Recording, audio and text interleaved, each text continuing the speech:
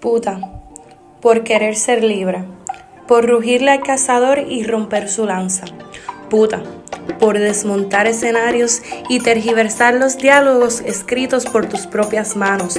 Puta, porque no dejo que me toques. Puta, por ser yo quien escoge. Puta, porque reconozco tus mentiras, tus inventos, tus pecados, tu papel de víctima.